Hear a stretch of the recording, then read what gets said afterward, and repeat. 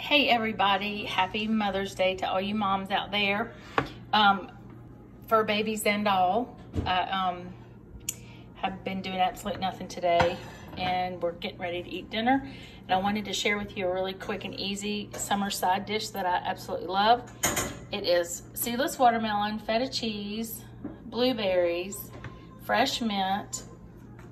You top with a little bit of kosher salt to cover the um, watermelon just to give it a little extra salt. You do a little bit of olive oil. I did some under the um, bottom layer.